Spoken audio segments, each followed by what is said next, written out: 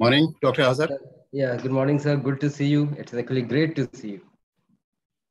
I think we can start. I, I see one or two students online, so no maybe we can start. Um, so, uh, students, today I have requested Dr. Azhar Parwaiz, who is a consultant uh, surgical gastroenterologist at Anta in Delhi with special interest in uh, upper GI and especially esophageal surgery. Uh, thank you, Dr. Azhar. So uh, this is an open house session. Uh, but uh, before we start, I would request uh, the students uh, that uh, please follow Dr. Anand's instructions, whatever he says. So please, all the final year exam going students, please send your names to Dr. Anand so that he can make a roster. I should say that this is a good opportunity for you to rehearse for your final exam and we are trying to get as many prospective uh, examiners for you so that you get exposed to uh, all of them. So any of the student would like to start? Well, sir, if you allow me, so I can start giving you a brief introduction of what I'm okay. going to discuss so okay. that meanwhile some people can prepare their question, we can save our time. Please, please go ahead. Uh, thank you, sir, for letting me participate here because it is, an, of course, an academic session. We have all residents so there are a few kind of questions that is usually asked in examination. So I will be pertaining to that. I have few interesting videos so that if you want to see that, that is also helpful and we can uh, interact during that video session also. So now if I'm a surgeon, I'm sitting in OPD, generally the patient that comes to me have a referral bias. Majority of the time the patients are filtered. Means the patient who is coming to you is possibly having something surgical so it is, we are talking about CA esophagus and possibly some initial evaluations have already been made, like staging modalities have been done. And since the disease is possibly operable, metastasis, so he will come to you. So the first thing you as a surgeon need to answer two questions. Question number one, is the patient operable? And second is, is the disease operable? So when we talk about if the patient is operable, what you need to do, you get the CD or the CT scan or whatever imaging he has got, discuss with your radiologist mandatorily. This is your learning. The two questions that you always already have answered before that the patient doesn't have a metastatic disease. Generally, there are different ways to stage the disease. Initial screening is usually with a, maybe an X-ray and ultrasound, followed by a simple CT scan, IV and oral contrast chest and abdomen but once you have decided that the patient needs surgical intervention or something with a curative intent, you need a proper staging modality. So if the question comes, a staging modality of choice. So the answer should be ideally in the current scenario is a PET CT scan with IV and oral contrast. Often the patients are having dysphagia if you give oral contrast, they may vomit. There is a risk that he might aspirate. So the answer should rather be specific that you do a CPET CT scan with IV and on-table oral contrast. There are few things that you need to answer. If the esophagus proximally is distended, you get the proximal extent. And this is one of the most important thing to know whether you can operate or not. Like in endoscopy, sometimes it stretches, it may be longer than what you think. Like and it is operator dependent. If they, they say that incisor 18 centimeter and your cutoff is say 20 centimeter. Now, what is my choice would be, I would like to see the length from cricopharynx, how far it is below. If it is more than six centimeter from cricopharynx in a PET CT scan or CT scan, and that is very well seen if you give oral contrast and proximal esophagus distant, he still is a candidate for surgical intervention because you need minimum four millimeter or at least two centimeter below four centimeter or at least two centimeter below the cricopharynx to anastomosis. One question. Then apart from that, local staging, regional extension. In radiology, there are two things like abutment with bronchus and abutment with aorta. Generally, radiology overstage abutment with aorta, but whenever they say there is abutment with bronchus, there's a membranous part of the trachea which is very thin. Often in this situation, you need to be careful. So in pericarinal or supraesophagus or peri- supracarinal disease must consider bronchoscopy before planning surgical intervention. These are the questions once you have answered, then you of course want to see the stomach status and others. Once you're into the state that yes, the patient is operable, then you decide what kind of stage it is, radiological stage. So if the question is very simple, if you are a proponent that everybody should go for neoadjuvant therapy because majority of the time disease is T2 and beyond. Rarely you get something T1. So let's not discuss about T1, that is endoscopic forte here. So anything beyond T2 and above, he goes for neoadjuvant therapy. There is no need to add up further investigation. But if you're a believer that early T2, short segment, no gross mediastinal lymph node disease, should go for upfront surgery, which is one of the modality, acceptable modality. In that situation, the questions should be answered by an endoscopic ultrasound to make sure that it is T2. So endoscopic ultrasound in staging has limited access. Early disease, when we think between T2 and T3, whether he go for neoadjuvant or not, then you of course need to do endoscopic ultrasound. But if the radiology show gross mediastinal nodes, bulky disease T3 and above, a segment of disease more than 8 centimeter. These are the few things that you should answer in the examination that these patients are automatically going for neoadjuvant therapy. So in that situation, endoscopic ultrasound, by doing endoscopic ultrasound, you are not going to change the management. So the important thing is whenever you choose an investigation, you must have this thing in your mind that that investigation should add up value and change the management or potentially can change the management you should not investigate for curiosity. Often in examination, a question is asked, what is your investigation? So you usually, um, referring to the residents, you usually say, I can do this. Never use this word, I can, because I can means you have 10 investigation. That doesn't mean that you are going to do 10 investigation. What you will do, you choose carefully. So I will or I shall be doing this and have a rationale behind this. This is where the mistake we make I can do this, I can do that. It doesn't mean any significance to clinical management of the patient. What you do, you choose. So when you say endoscopic ultrasound, you should be having a rationale why you're choosing endoscopic ultrasound. I hope that part of investigation is uh, cleared. Once we have complete investigation, and as I told you, there is no lot of ambiguity in this situation. If it is T3 above, gross mediastinal lymph nodes disease, some T2, long segment growth, go for neoadjuvant therapy. And that includes almost 90% of your patient that you will see. So you should be able to prepare that, this answer. Once you have decided that neoadjuvant therapy, now you have a tumor board discussion. You always say we have in our institution a tumor board discussion. Generally, our principle is to consider preoperative chemoradiotherapy, which is a standard protocol. Cross, you should remember cross by heart. Year of present, air of uh, publication, everything. Cross, you should be remembering the cross protocol for neoadjuvant therapy. Now, in few of the instances where there have been emergence of FLOT, but largely these are more useful for lower one-third adeno-CAs. So between FLOT and cross, the problem of FLOT is the post-operative protocol is often kind of non-compliant. So predominantly, if you see in the literature, you will also find that the FLOT pre major compliance comes only through the pre-operative part. So there is always a debate that is a post-operative part unnecessary. Similarly, cross the kind of result they have shown, they have shown a good result overall with cross followed by surgery. So they have majority of time since our histology is squamous cell carcinoma. So the standard of protocol would be pre-operative chemoradiotherapy followed by surgery. Now the examiner is going to ask you a few questions. When you will not give radiation?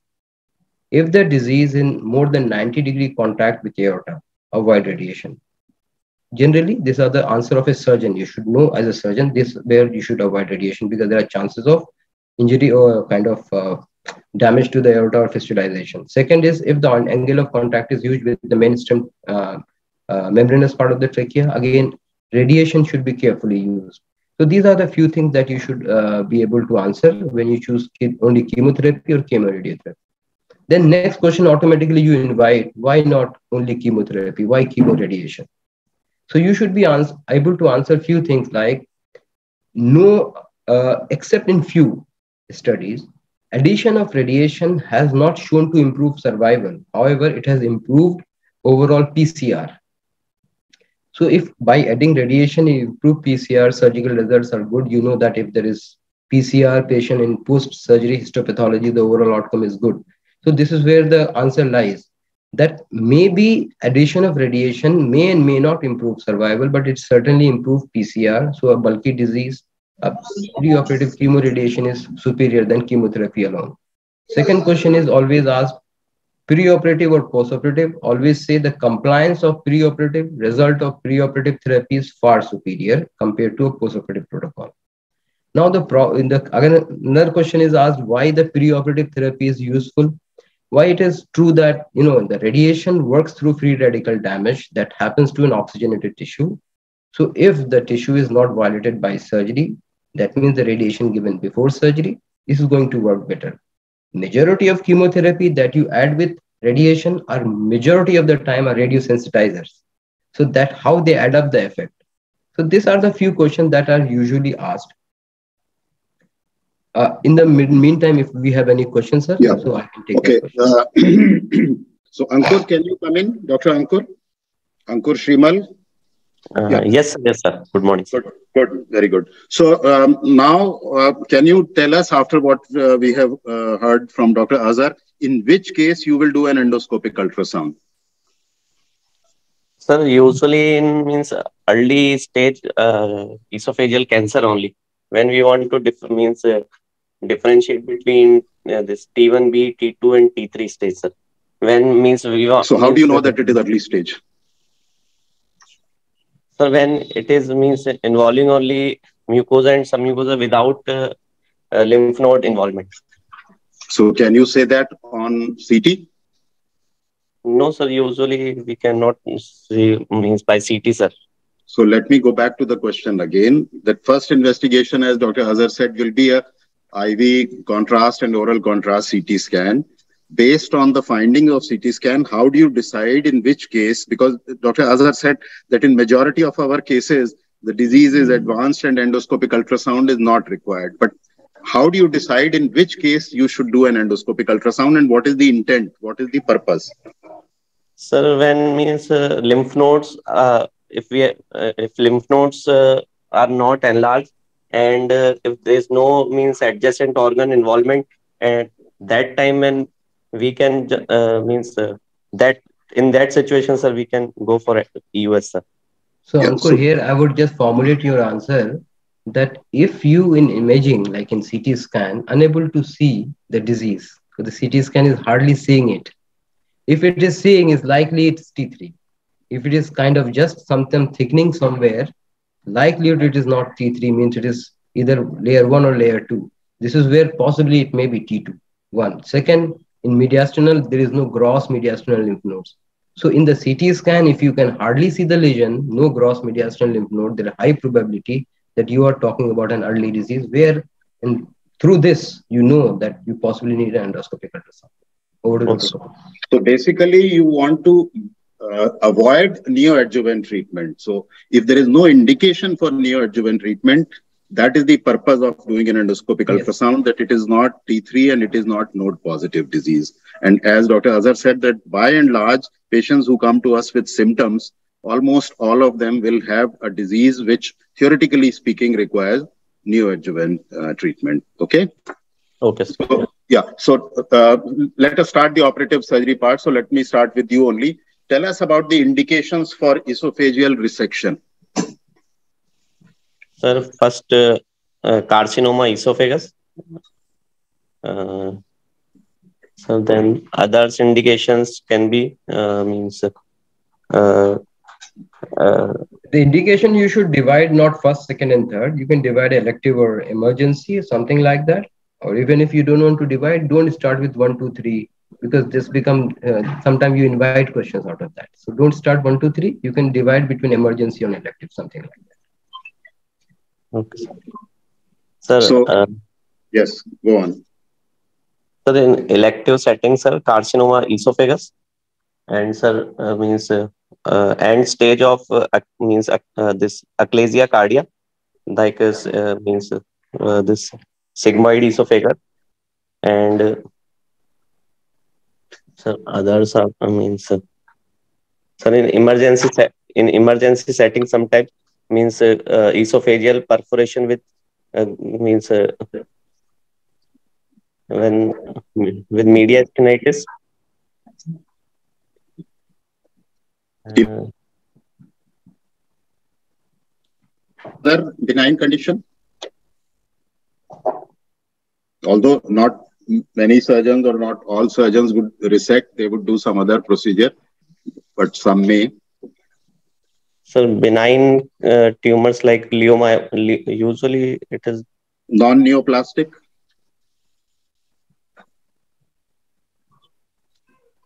Which is the other common esophageal uh, condition which uh, we treat? One is malignancy, other is achalasia, and third? So corros in corrosive. So what about resection in corrosive stricture? Yes. So actually corrosive makes second. Yes. Yeah. Okay, so let's discuss end stage of achalasia. What do you mean by that? So then that uh, esoph uh, tortu tortuously dilated esophagus with excess deviation and complete loss of peristalsis in the body. So that makes the, the indication of esophagectomy. Sir. So that is a basically radiological uh, criteria, what are you saying. So how is the, what is the clinical criteria of end, end stage? When we always add that there is, there is failure of alimentation. Yes. Radiologically, you confirm, but the patient is unable to eat and swallow, and there is stasis regurgitation affecting quality of life, and endoscopic therapies or other therapies have failed. So this is along with this radiological criteria, you understand this is end-stage achalasia, right? Yes. So you use the word uh, sigmoid esophagus. What is the other word used in relation to achalasia? Another term?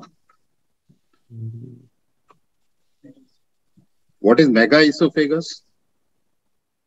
Uh, sir, uh, when the diameter of the esophagus. What is the, what is the difference between the 2 mm-hmm. Is more than? Hmm. I'm not completely sure, sir. More than 10 centimeter. Is it 10, Dr. Azhar, or 6? 6 centimeter transverse Six diameter. Maximum transverse diameter 6 centimeter. Okay. And what is sigmoid esophagus? What is the difference between the two? I think it's when excess deviation is there along with mega esophagus. It is called sigmoid esophagus. So, would everyone do a, a first stage direct upfront esophagectomy if you see a mega or sigmoid esophagus, or are there different views? On mega esophagus, one means different means uh, we can go for trial of sir poem also uh, before surgery, sir, before esophagectomy, sir. Mhm. If it fails, then we can go for sir, esophagectomy. Not all patients we can directly go for uh, this esophagectomy, sir. Hmm. Azhar? So generally, uh, poem has come recently. But even before poem, there is initial attempt of myotomy, long segment myotomy is advisable. But you tell your patient that it, you might fail, and you fail, then of course we have options of esophagectomy. That is what generally I think the answer should. Yeah. So you have both approaches. One could be that based on clinical, radiological, and uh, uh, manometric findings, you say that the result is likely to be very poor after a myotomy or a poem, surgical myotomy or poem, and you go for direct esophagectomy. Other is that you want to give a smaller procedure a trial and see if it works, and if it doesn't work, then you go for esophagectomy. Now let's come to esophagectomy for corrosive stricture. What is your view? Next student, uh, Anbarasu, please be ready with the next question. We will come back to you. So Ankur, take this corrosive stricture. What is the status? What is the view? Sir, usually we don't uh, resect esophagus for corrosive uh, means no. Why, why not? Why not? Because the planes are fibrotic in that uh, region. So usually we don't resect and we make means from the uh, other route we make the means esophagus this Yeah, conduit. See, you all know, but you should give a complete answer to show that you know. You should Yeah. say that in corrosive injury, there is a lot of periesophageal inflammation, which leads to periesophageal fibrosis. The planes between the esophagus and especially the tracheobronchial tree, that is the one which you are worried about, are not clear. So dissection in that plane may cause injury to the membranous part of trachea. And that is why it is more, more and more uh, groups and surgeons are now not going for resection and they are using an alternative route to perform an esophageal bypass rather than resection. And those who resect, why do they resect? So because in the long term there is uh, it is risk factor for the malignancy. That's why they try to uh, means One. And what is second? Any One other reason? Of course, yeah. Uh, because of the route, because it is more physiological and uh, more spacious. That's why they, they they want to take the uh, means conduit through that route. That's why they resect. What do you mean by that route? You should specify which route. The transhiatal. No, no, no, no. Transhiatal is the approach. What is the route of replace of conduit placement in when you resect the esophagus? Suppose you are resecting, then which route you are using? The posterior mediastinum. So, see, at MCH level, your answer should be complete, correct, no superfluous words. So, you should have said that the after esophageal resection, the route that we use, that is the posterior mediastinum, is shortest, more commodit, uh, spacious, and physiological, physiological, as compared to, and you should again say as compared to retrosternal or rarely antesternal also, although today I don't think anybody would be doing antesternal. Uh, uh, but I remember way back in early 80s, uh, one case uh, when I was with Dr. Chattopadhyay, we did an antesternal. Uh, I don't remember the reason. Probably there was tuberculosis, uh, and I still have that picture showing the peristalsis of the colon in the skin.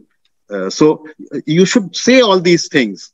Don't keep your knowledge to yourself. Show it to the examiner. Okay. And sometime when you bypass the esophagus, that esophagus is completely cut off from alimentary system and you cannot do the surveillance of that esophagus. So okay. There are three possible answers that you can answer in this situation. Okay, okay thank, thank you, Ankur. Now let us come to Dr. Uh, uh, Anbarasu. So uh, tell us about the techniques of esophageal resection. What are the different ways that esophageal resection can be done?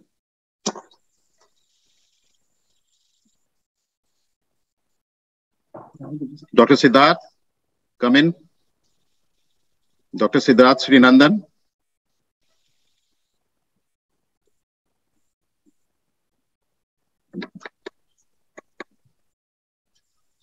Any volunteer? Dr. Mir Mujtaba? Sham Kumar? Utpal. Difficult questions will not be answered. Anybody can just jump in. So it is better the best part, sir as a student best part we fear when i was a student that asking this question may incite insult to me maybe so never have this fear among all the students even a bad question can teach you something that at least this is a bad question so learn by asking when a bad question so don't fear Utpala was, okay Utpala was first waiting in IASG uh, that award ceremony in the in the in the quiz mm-hmm. i think she should she should take the board she should volunteer on that okay Utpala yeah, good morning, sir. Morning, morning. Come uh, in. Come in. Sorry, sir, I pronounced your name wrong, Utpala. That's, yeah. that's okay, sir. No yeah. sir. Sir, yes. I also had one question, sir, uh, regarding okay. bronchoscopy. Sir, would you do a bronchoscopy in all supracarinal lesions? Or is there any other uh, caveat to that? Routinely, all supracarinal lesion and bronchoscopy is advisable. All pericarinal, supracarinal bronchoscopy is advisable as a part of routine staging. Apart from that, of course, if there is certain indication like there is a in, in kind of an esophageal bronchial fistula, then of course it's absolute indication, but generally recommended routinely, yes, supracarinal, advisable to do bronchoscopy now. Because you know most of the time in supracarinal presentation, you will rarely get a T1, T2 disease. It's going to be more than that. Okay, sir. Yeah. So Utpala, please take this question now. The techniques of doing types of esophagectomies. Uh, sir, uh, uh, broadly there are three techniques. Uh, they are uh, uh, one is Orringer's trice uh, transhiatal. Second is uh, Macu- second is uh, Ivor, Ivor Lewis transthoracic, and third is McKeown's three stage. these can be done either in open or uh, minimally so, invasively or in a hybrid procedure. So, Utpala, can I just help you in yes, identifying in a better way? There are yes, different sir, ways to go about it, like one you have already explained. Yes, Second, in based on lymphadenectomy, uh, esophagectomy with or without lymphadenectomy. Second criteria. Third, total esophagectomy or partial esophagectomy. Fourth, is the type of route, transhiatal or transthoracic. So there are four ways you can subdivide as a exam in MCH. But I totally agree okay. with you what you just said fully yes, yeah carry on yes sir yes sir So uh, tell us something about uh, transhiatal versus transthoracic pros and cons. Uh, sir, uh, um, transhiatal esophagectomy in today's uh, there in in today's era, transhiatal esophagectomy is probably advocated more for G uh, G junction type one uh, tumors and with distal esophagus tumors with uh, more uh, with tumors in the middle uh, or proximal thoracic esophagus. Uh, probably a transthoracic esophagectomy would be more advocated.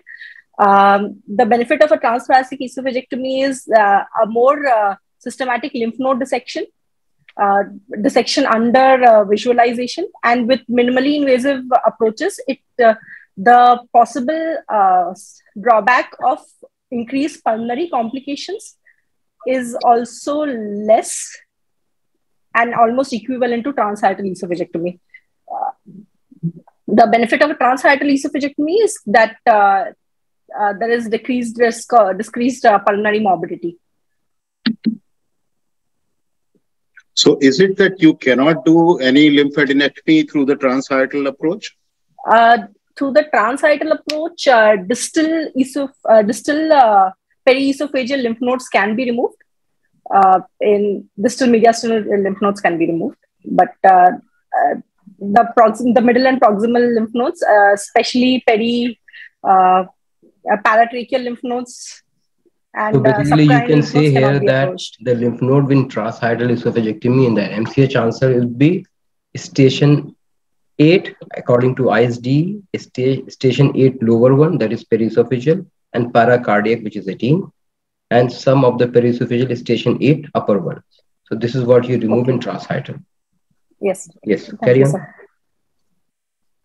So the modifications to the original uh, Orringer technique where everything in the thorax was blind, putting your hand through the dilated hiatus into the posterior mediastinum, people have changed that after either dilating or even dividing the crus of the diaphragm, enlarging the hiatus, using uh, laparoscopic telescopes, you can do the infracarinal part of the transhiatal esophagectomy under vision.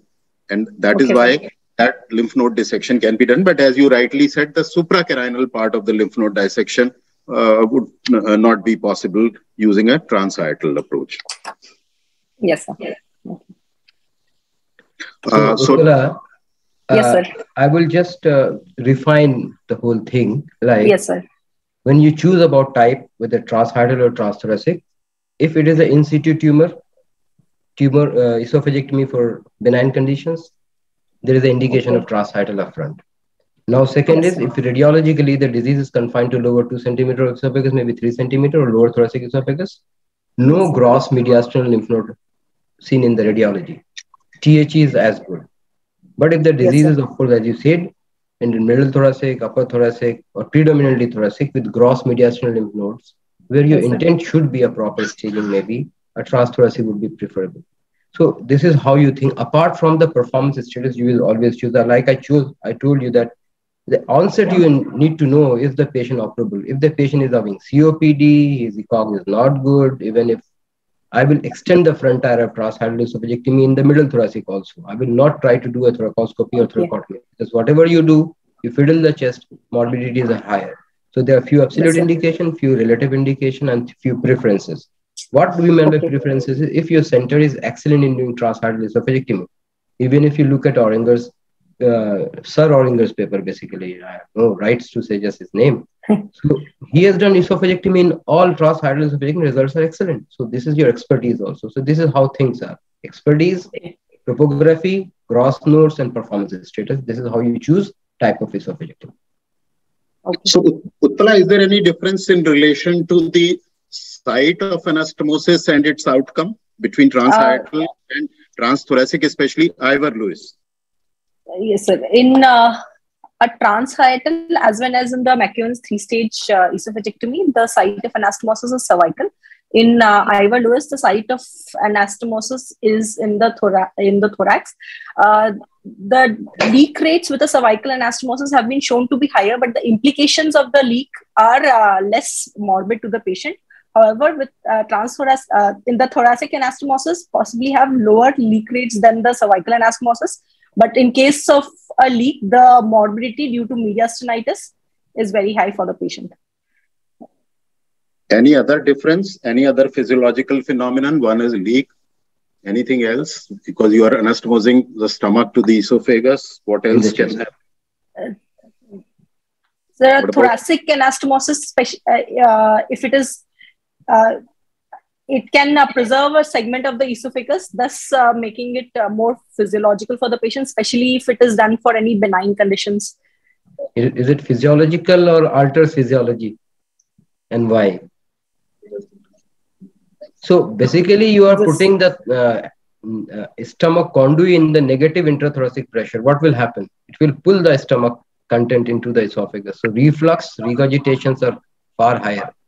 And when the conduit is distended, there is the biggest problem to manage in, in uh, trans, uh, means Ivor-Lewis esophagectomy. If the gastric conduit is distended, there are a lot of problem in terms of regurgitation and reflux.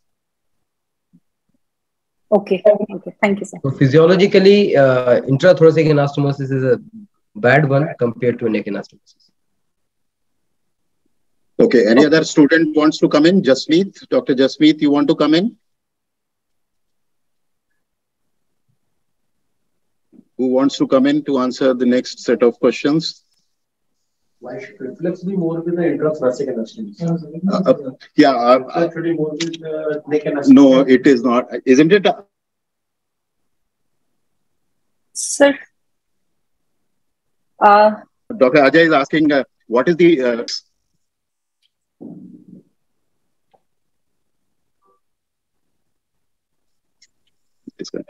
I got disconnected. No, it is okay. I can hear you. Please. Hello. Yes, yes, yeah. So the, the physiological basis for higher uh, reflux rate in uh, thoracic versus cervical anastomosis. So this was the question.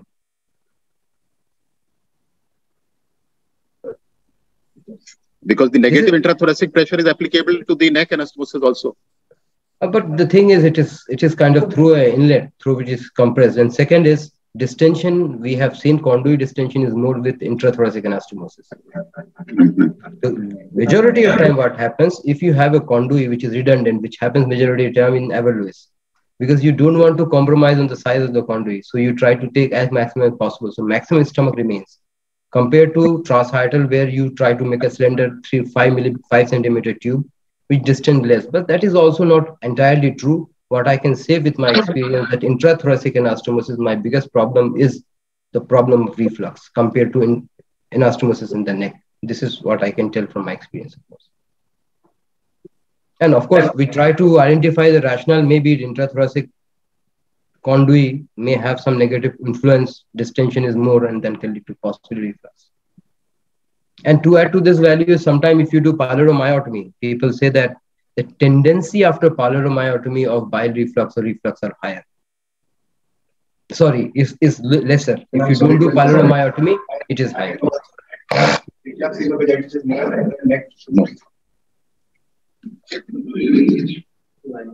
So, so in an Ivor Lewis, will you do pyloromyotomy on a uh, regular basis? So the question you asked me, what I would do, I just do dilatation. But what is the evidence? So the answer to your question is, in a patient of with or without pyloromyotomy or pyloroplasty, there is nothing proven of one's advantage over other.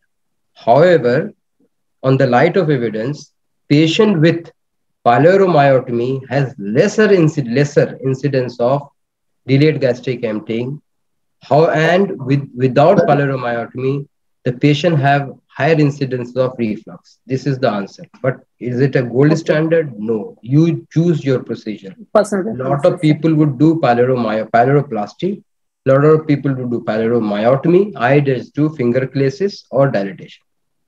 And some people would do nothing. Nothing, yes. So, uh, does data, any data say that this is better? No, there is no very, data. very soft data. Very soft data. This is what is the uh, the conclusion of the meta-analysis. They showed there can be slight preference of this showing that, but there is no clear-cut advantage of one over other. That meta-analysis shows that has shown a personal preference bias towards thing. Those who are doing a dilatation, they keep on doing dilatation those who are doing myotomy, they keep on doing myotomy and they don't have a comparison between the two in their same hands. So uh, I think there's no uh, per se uh, benefit or advantage has been shown. Those who are not doing a dilatation, they also say that they are not having any gastric dilatation post-operatively or redundancy of the stomach. So uh, there's no bias till now that uh, one should be better than another. Yeah, actually, there is no disagreement. Yeah. Please, please go ahead. Go ahead. Yeah, please. Initially, there were trials comparing all these. So, uh, uh, for the students, as Dr. Azhar said, that uh, how you handle the pylorus in a gastric conduit which has been placed in the chest, whether the anastomosis is in the chest or neck, it ranges from doing nothing to just a finger or a, a sponge holder or a, a Tubbs dilator uh, or a Hegar's dilator, as we described it, dilatation, to a pyloromyotomy, to a, a, a formal pyloroplasty so it has ranged from nothing to uh, maximum. And initially, there were a lot of trials comparing one with another uh, with um, uh, contradictory results. But by and large, if you do not disrupt the pylorus, you stand a little higher chance of delayed gastric emptying. And if you disrupt the pylorus, there will be definitely more bile reflux. But which is better, which is not, I don't think the evidence is in favor or against any one of them. But definitely, if the pylorus is not soft and supple and you can't approximate your fingers across the pylorus, then probably uh, everybody would do something to the pylorus. Yeah. Same controversies regarding hand handsewn and stapled anastomosis. Okay, let's let's come to that. So, uh, who will now come in? Uh, other students, Sham Kumar, Mir Mujtaba Ahmad, please come in. Otherwise, Ankur, maybe I, will come back to you. So Dr. Ajay wants to know what are the techniques of esophago? Let us say gastric only. We will come to colon later if time permits. What are the techniques of doing the esophago gastric anastomosis wherever? Uh, so these are two techniques, handsewing or stapler. And mm -hmm. I mean, generally we are doing uh, is using stapler side to side anastomosis. So again, see, when you are asked, as a general principle, whenever an examiner asks, how do you do an anastomosis, you must take and use the opportunity to show your complete knowledge. You should say single layer or double layer. You should say interrupted or continuous. Yes. Say which suture all these things straight away in your first go. Why should you allow the examiner to ask counter questions? So go back to the question again. Sir, uh, these are means we can do by two techniques, a, a handsewing or a stapler, and we are doing with using Advent Blue stapler, uh, side to side manner, and uh, with closure of the enterotomy using this uh, two two means uh, in the two sutures, first uh, PDS we are using 3O for inner layer, uh, continuous manner, and interrupted cell 20 in the outer layers. So esophagogastric anastomosis is done in two layers? No, sir, single, single layers. So you described it in two layers. You said inner and outer. What is that the single most determinant factor of esophagogastric anastomosis in your opinion? What defines your anastomosis? If you can just cut short the time. The esophageal mucosa must be incorporated, means mucosa to mucosa one. Second, it should be wide. If you're meeting these two criteria, whether you use your hand or you use your foot, doesn't make any difference. It's Stapler or hand not everything depends on your preference. But these are the two basic principles. Tension-free mucosa to mucosa and wide anastomosis. That should be the three prerequisites. And then you use rest of the adjectives, like whether you are comfortable with st stapler or open or, or sutures. What suture you use? Preferential, monofilament, single layer, preferential, double layer. Some people still practice. And this is i think in generally the answer to the question would be. And okay. interrupt, interrupted. I don't think anybody would be doing continuous or yeah. you do?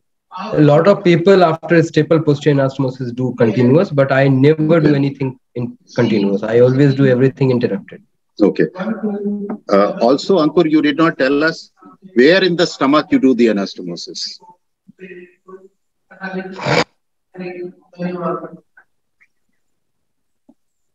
Ankur? Yes. So you have the stomach conduit taken up. Yes, the sir. fundus is the topmost part. Where do you do the anastomosis? Where do Sir- you make the gastrotomy? So at the posterior surface sir, of the fundus, sir. Not always. Some people would do it on the anterior surface. Some do it on the posterior surface, thinking that the stomach, when it covers the esophagus anteriorly, provides a kind of serosal cover. Um, I don't know what Azhar's uh, preference is, but I also prefer to do it on the posterior surface. Yes, sir. We have tried both. Convenience of doing posterior is also better. And of course, it covers. But the problem is sometimes the conduit is sitting on the esophagogastric anastomosis. And if in the neck it leaks, it everything is falling into the mediastinum. So that is one fear. But yes, it is no difference. And whether you do an anterior or posterior, there are three things or four things about conduit again. Uh, let me add here that you should not make too bulky conduit don't take too much of momentum around the conduit. Five centimeters is sufficient. Too big a conduit is a problem, but too short a conduit is very big problem. Sometimes if the conduit is too redundant in the tip, you can divide. Majority of time it is not needed. If your inlet is properly widened, it is mandatory not for arterial compromise for to prevent venous congestion. Every time we talk about arterial, in my opinion, arterial problem after initial experience goes down. But if you do not do a proper hiatal uh, widening, proper inlet widening, the conduit ischemia is largely venous because of venous congestion. So these are the few things. And then whether you do anterior or posterior, it is your choice. And if you are making too narrow conduit, the tip ischemia is very high. So in this situation, Ankur, do you want to tell us? There are a few things recently which people have come up to prevent immediate conduit ischemia and immediate postoperative period. Some intraoperative interventions people are doing. Would you like to add anything on this, Ankur? Or even pre-operative. Yeah, yeah. Ankur, what are the methods to increase the vascularity of the conduit? Sir, know any- sir, I'm not sure, but uh, this uh, preconditioning of the esophagus by uh, Mhm. already means embolizing left gastric art, the left gastric artery. Sir. What else? Sometimes people do an two stage.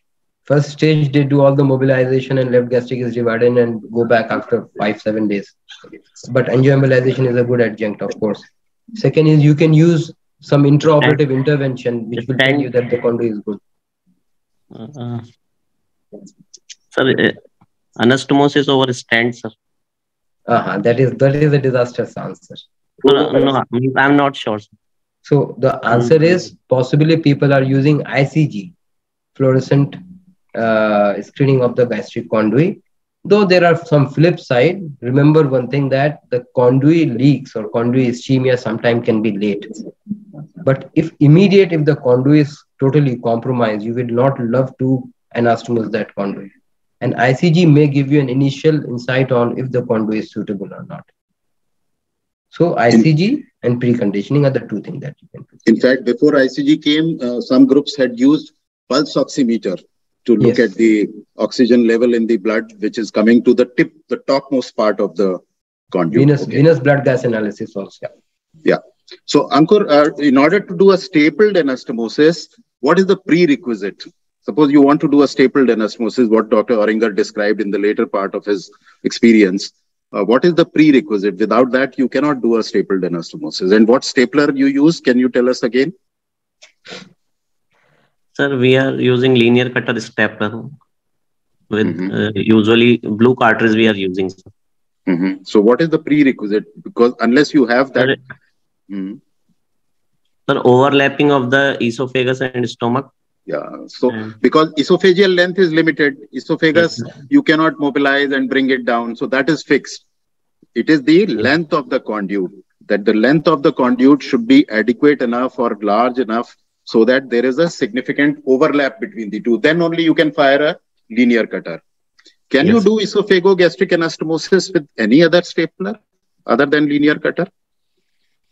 Sir, using circular stapler also we can do, sir. How? By, by making gastrotomy and uh, means uh, tightening the anvil over the esophagus side and then firing the stapler via So- gastrotomy. So where do you introduce the gun from? Because in the neck, you have a very limited uh, space.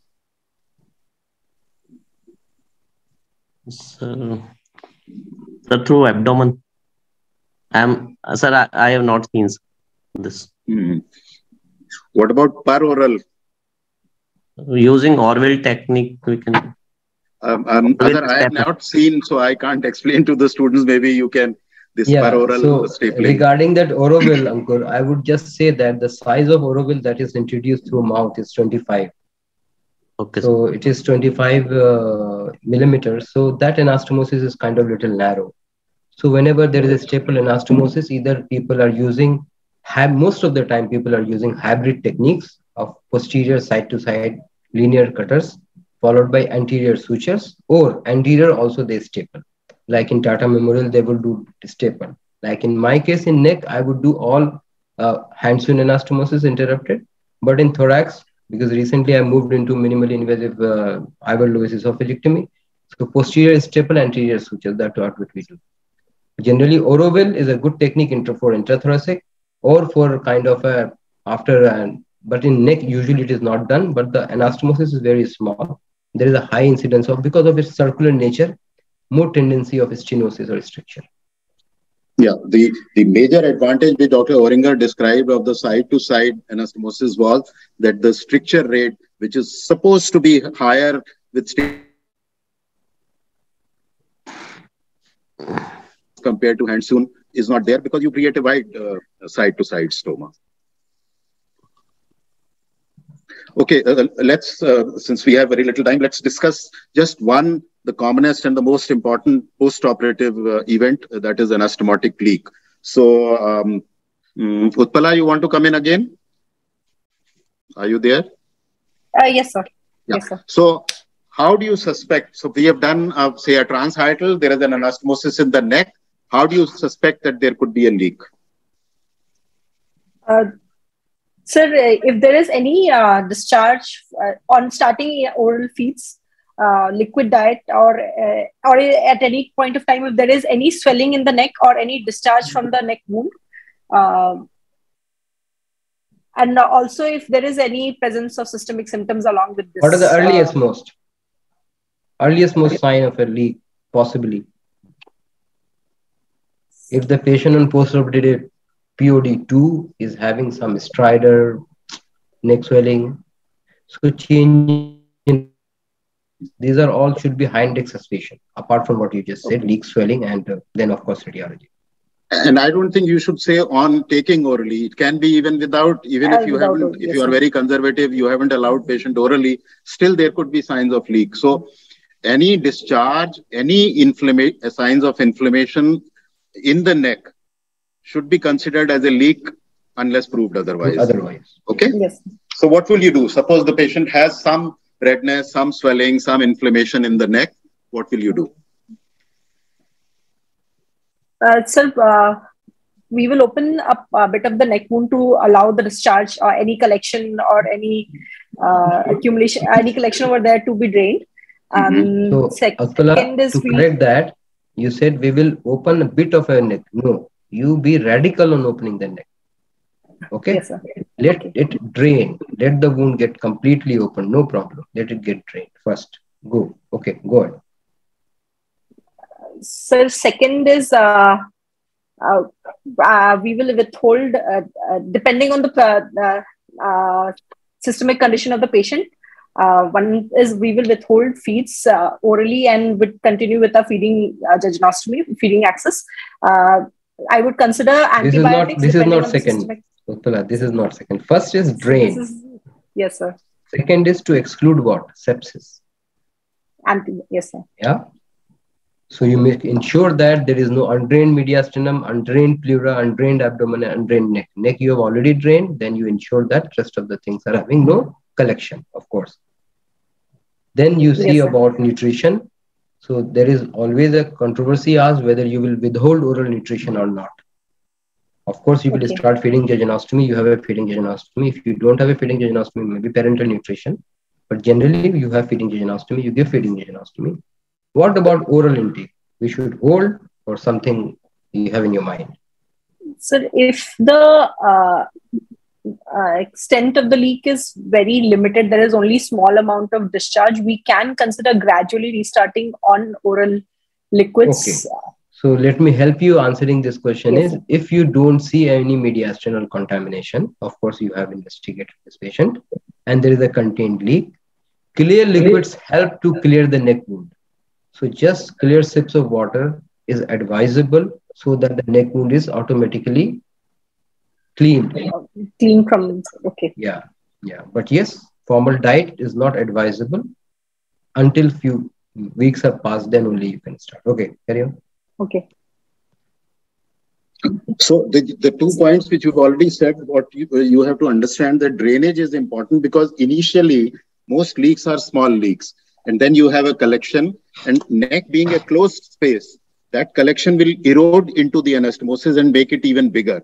So by drainage, by opening the wound, by drainage, by cleansing the wound, you are preventing that further uh, uh, aggravation of the small anastomotic leak. That is one. Second, as we discussed earlier, the biggest advantage of a neck leak is that it is a superficial leak and therefore it doesn't cause sepsis. But if there is a trickling down of the leak into the mediastinum, which is more likely if we have done a transhiatal dissection, if we have dilated the esophageal inlet, if the anastomosis is on the posterior surface. So you have to ensure that. And neck leak would give rise to local signs. But if the patient has systemic features of sepsis, then you should suspect that there is mediastinal sepsis. And, and uh, uh, that is more alarming rather than just neck leak alone. Okay, sir.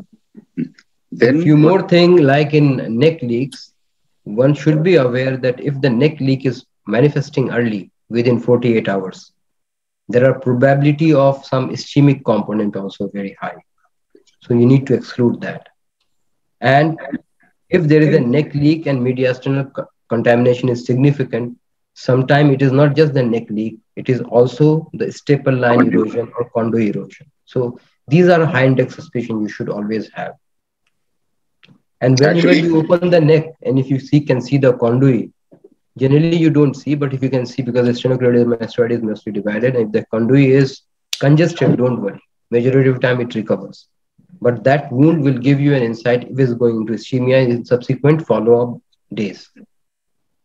In fact, uh, the dictum is that very early major anastomotic leak with systemic signs of sepsis is with uh, metabolic disturbances, hemodynamic disturbances, is a, uh, a ischemia, conduit ischemia, unless you have proved that conduit is vascularized or is and, viable. Yeah, an early indication of re-intervention maybe it saves the patient. Delaying so, may not. Yeah. yeah. Utpala, very quickly, how do you yes, diagnose uh, conduit ischemia? What investigations? So first is uh, uh, search for, I would look for systemic signs of sepsis, leukocytosis, uh, clinical we have done. markers. Yeah. Uh, then second is, as sir said, by opening of the neck wound if the conduit is visualized. Third is, uh, um, I would prefer to go with a uh, CT scan before I go ahead with an endoscopy, sir. So I agree with you, Utpala. The first point should be the first way to diagnose conduit ischemia is high index suspicion. Yes, if the patient have untoward cardiac, cardiac event immediately after surgery, little we need like, to be a little careful. Rest is the same pattern you follow, absolutely. Okay. So you should say contrast, IV contrast enhanced CT IV scan. Contrast, yes, Again, your answer should be complete. Your answer should be correct. So it is not CT yes. scan, it is contra IV contrast enhanced because that is what will show you the vascularity of the conduit. Yes. And then, of course, you do. And again, when you say endoscopy, you have to say that very gentle, very careful endoscopy done by an experienced endoscopist with minimal insufflation. So whenever you are yes. doing an early endoscopy after a corrosive injury, after a post-operative abdomen, say early intraluminal bleed after PD, when you do an endoscopy, it has to be a very gentle, very careful, endoscopy done by an experienced endoscopist not a routine upper GI endoscopy. So all these words uh, tell me that you have done uh, a procedure like this and what precautions you took when you were doing it. Okay. Yes, sir. Yes, sir. Yes, sir. uh, anybody who can answer, who want to answer, like after neck anastomosis, before starting oral feed, do you need to do a routine radiology, radiological test? If yes, Uh, why? If no, why? So some centers do propose the use of I'm a routine. Your no, sir, I would not. No, sir. No, sir. I would not do a routine uh, um, uh, uh, uh, CT with the oral. Uh, No, no. You going to say you will not do routine radiological test. I will not do a routine radiological the test question is Utpala, why? sorry. Utpala, sorry, you said CT. Do, do people do CT? Those, even those who do, what do they do? They Sir, do just an barium- oral contrast study. They don't do a yes, CT scan. sir. They Yes. do an oral contrast study, which is different from a CT scan. Now Yes. come back. Okay. Now, if a oral contrast, what contrast? If at all you believe in oral contrast, what contrast you? Uh, s- sir, I would do a Gastrografin, not a barium, because But in case of Gastrografin a, sometimes do not pick up leaks.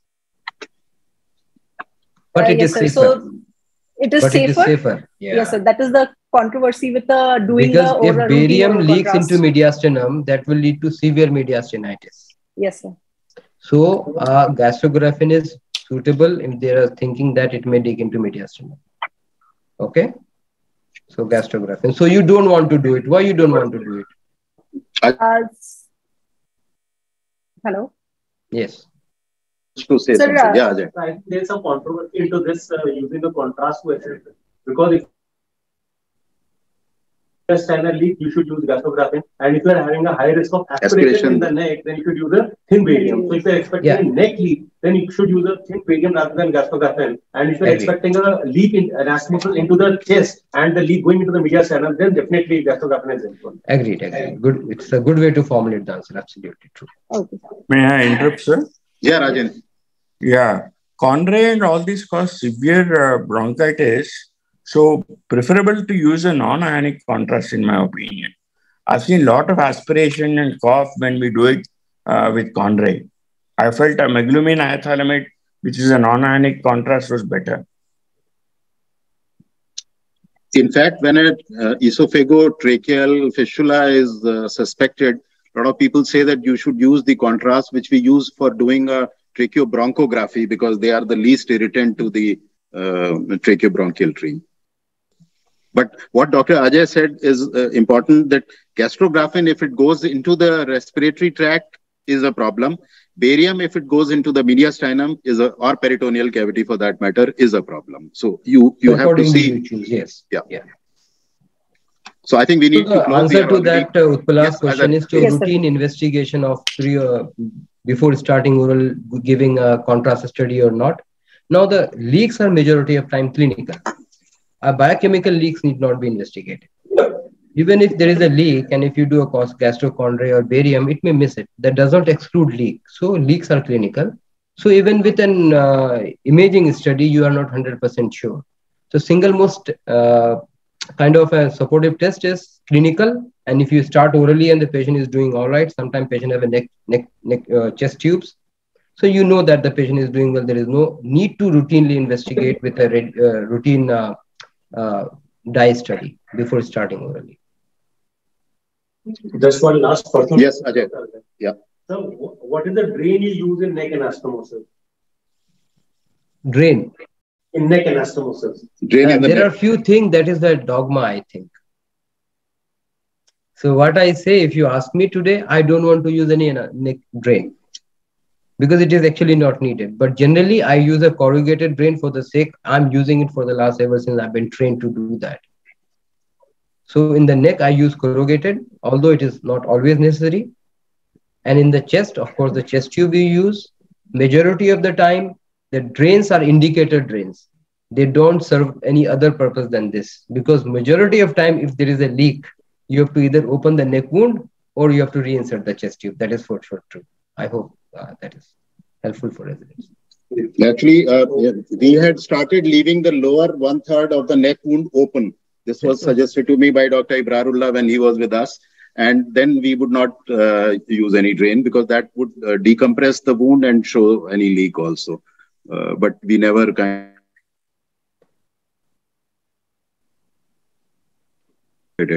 Actually, we have uh, doing it, doing it, opening it, leaving the lower part of the wound open. So these were the two techniques which were being used, and then we realized that most of the corrugated drains available in the country are actually stiff. So we are worried that it may actually erode into the into the suture line. So we stopped using that corrugated drain, and if we need a drain still, I would use a glove finger to just make it a track coming out through the wound so that it can be seen. Otherwise, otherwise nothing else. Yeah, yeah. So Azhar, I think we need to close. We are already yes. beyond 10. Thank yeah. you so much. Thank you so much.